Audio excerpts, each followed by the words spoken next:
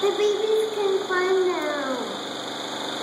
Yeah, because they pull up. But they look cute. They have like this wild look to their face. It looks like he's venom.